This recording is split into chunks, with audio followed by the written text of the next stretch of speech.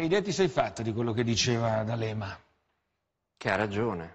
Da quando non conta più niente gli capita spesso di avere ragione. Eh...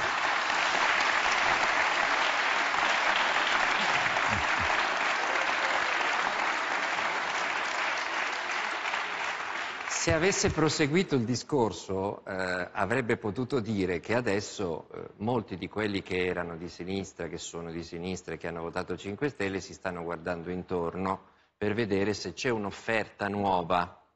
E eh, quando è stato eletto Zingaretti hanno detto, ah beh Zingaretti insomma non è Renzi, certamente è una persona un po' più normale, possiamo dire.